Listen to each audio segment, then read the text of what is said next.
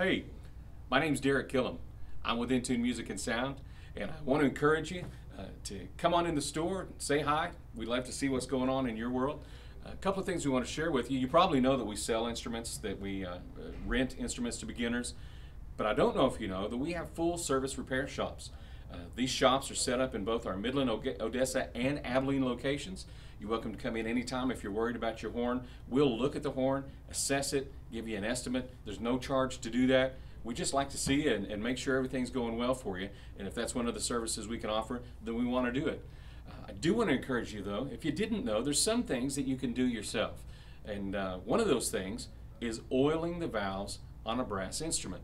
Now, I have a cornet in my hand. I'm most comfortable with that. That's what I play.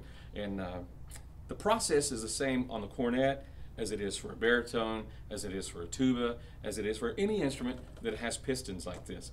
So uh, I want to help you get comfortable with this process. And you know, a lot of people do this and then they find out that it's not playing right. So I'm going to show a few things that you can check to make sure that we get the horn apart and together the correct way. What do we need to get started? Well, obviously, you're going to need your horn, whether that's a cornet, uh, tuba, baritone, whatever you have, make sure you have the instrument.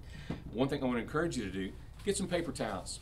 Uh, sometimes when you're dealing with oil, you'll have some spills or some drops that, that fall and go different directions. If you'll make sure that you put some paper towels down, you'll keep everybody happy. We won't stain anything, all right? And obviously, you're going to need some oil. This is N-Tune valve oil. Uh, we keep this stuff around all the time. It's, it's, um, it's uh, very economical for you, and it does a great job. So I've got my oil, I've got my horn, I've got an area cleaned off, ready to go. So let's get started. The first thing I want to teach you about, uh, if you don't know the names, then what you're looking at here are your pistons or your valves, and these are numbered, one, two, three, okay? You probably already knew that, but I'm just, I'm going to tell you that for a reason. They sit inside this, this valve casing, and the, the way you take them out, there's a cap here, and it's threaded. You just loosen that cap, and don't take it all the way out because I want to show you something. I'm going to lift that up and on this piston, this one is on the front side of the piston. There's a number. This is number one. That's my first piston and it's labeled for me. It's stamped on there. That's a great thing. Note the direction that it's stamped. It's either going to be directly away from you or facing you. On this instrument, this is a, a King, it's facing away from me. See this little white piece here? It's called a valve guide. It, it's on both sides. One side is different than the other. There's a reason. When this goes back in the horn, there's slots inside that casing that that fits in and keeps it from spinning. What that does is you'll notice there's there's holes in that valve and that piston. They line up with the tubes on your instrument. Those valve guides get it to the right place. then you can tighten it back down and it keeps the air moving free okay?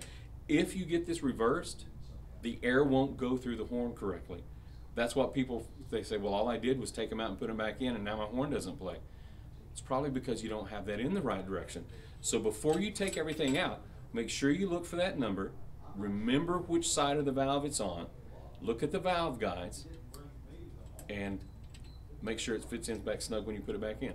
All right, I never take my valves all the way out of the instrument when I'm oiling them let me tell you something else too. I've seen this happen a lot. I would, went all the way through junior high and high school and college just like you.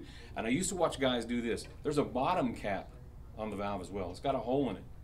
And they'd get in a hurry and they'd say, hey, you know what? I'm just going to squirt some oil in the bottom. Doesn't work. There's a hole in the bottom of your valve. Basically, all you do is fill up the inside of your, your piston with oil. You never get to the part that needs to be oiled. So don't do that. It's a, it seems like an easy, quick shortcut, but it doesn't work. So I pull that out far enough where I can see, you'll notice the top part of this is smaller than the actual surface area down here on the piston that has the holes in it. That's the part that's going to rub metal on metal. That's the part you need to make sure gets oil. So I'm going to get my valve oil. I'm not taking that completely out. And I'm just going to drop a couple of drops on there. I make sure that my, my uh, numbers align the right direction. My valve guides, I just insert it far enough and spin it till it won't until it locks in. You'll feel it click in. And then I line up my threads, tighten the top valve cap down, smooth, easy. You repeat the process. If you've got a four valve instrument, you're going to have to do it four times. If you've got a three valve instrument, you do it three times. Simple process. Bet you didn't know you could do it yourself. All right, see you next time.